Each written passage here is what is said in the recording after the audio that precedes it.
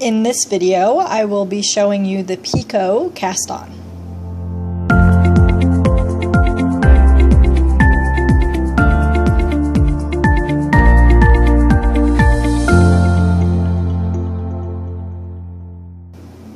The Picot cast on is a cast on that creates little bumps or picots along the cast on edge.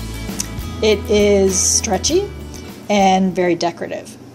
Uh, you can change the size of the picots to make them longer.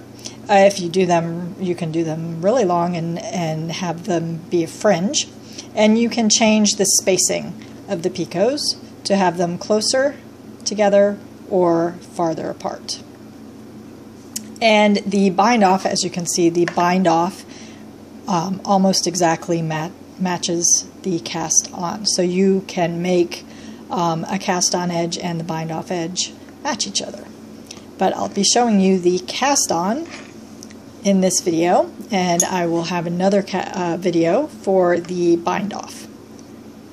To begin, so it is a left to right cast on.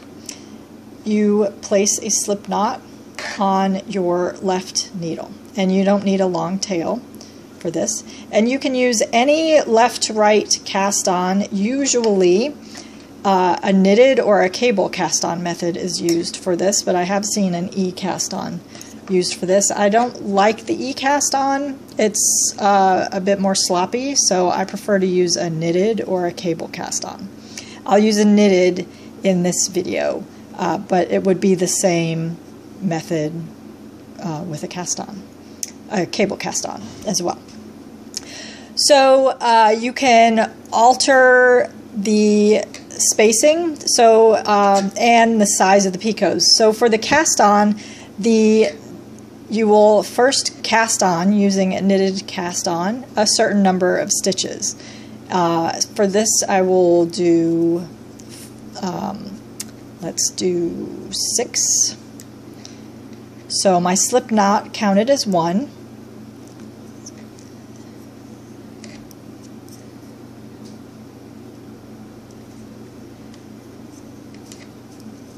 And then I will bind off four, say. Um, so I cast it on six.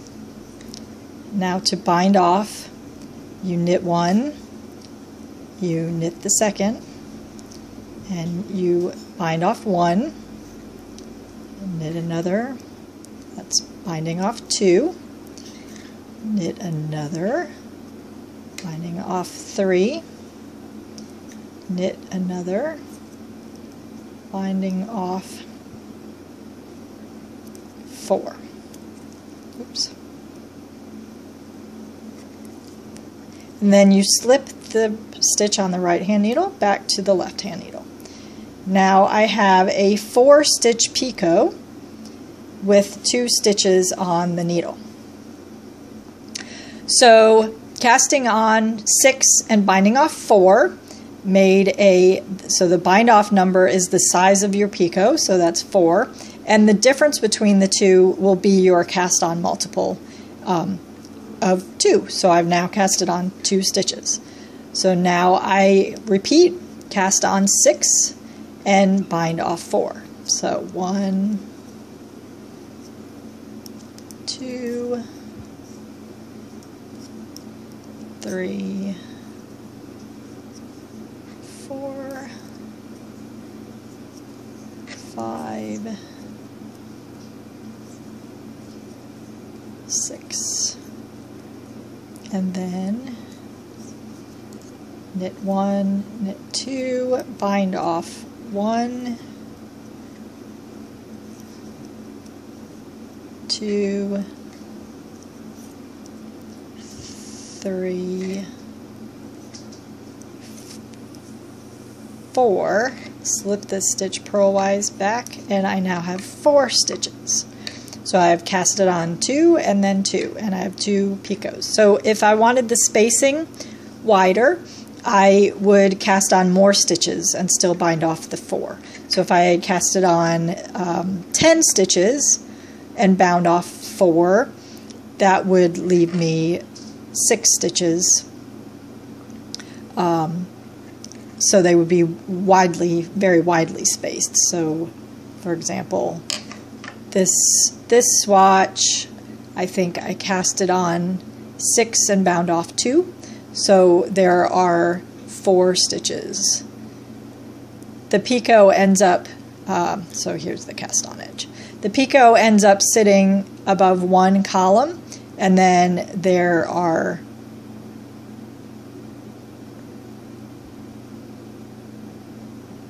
one, two, three, and then four.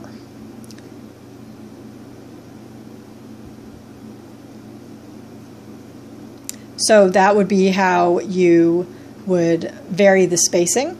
And it's always a good idea to swatch to see what you like, uh, what you prefer.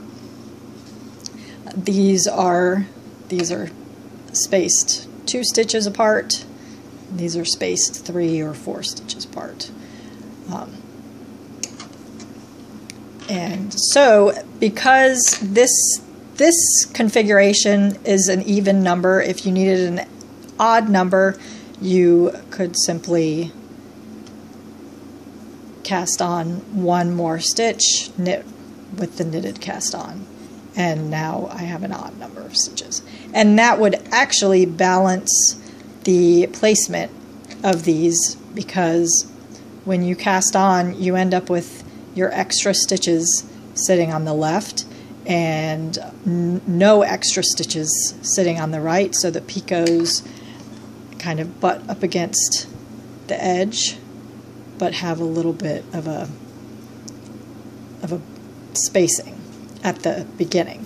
So if you want them more centered, you would cast on some extra stitches at the end to kind of balance them along the edge.